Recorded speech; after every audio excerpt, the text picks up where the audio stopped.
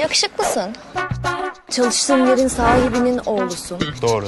Bir de kendi ayaklarına gelmişsin bana. Ben seni neden istemiyorum? E yani. Ayşe'yi bana iste. Olmaz abi. Niye? Başka biri mi var? Ya kızım niye ezdiriyorsun kendini? Kaç yaşındasın sen? Bas git şu evden. Kerem'in aurasına giriyorsunuz Ayşe Hanım. Dikkatli olun. Çıkamazsınız sonra. Ne yaptın lan kıza? Hangisine? Elif Allah'ın emriyle isteyecekler seni. Kerem nerede? Kerem burada bak. Heriften önce haberi geliyor. Kerem! Çık dışarı! Yandı kolu. Televizyonda göründüğünden daha yakışıklı bu. Bak canım bu Kerem'i kandıran hayatı boyunca pamukların üstünde yaşar.